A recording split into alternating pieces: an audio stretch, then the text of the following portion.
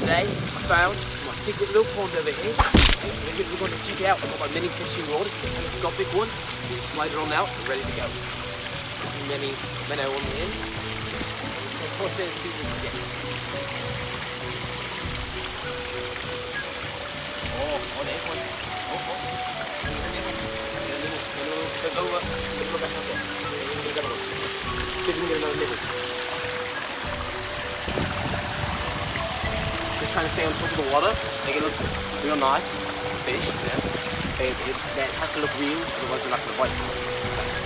Right, we're close to. The stream seems to be going down a bit here, we'll go down to the water pool to find it.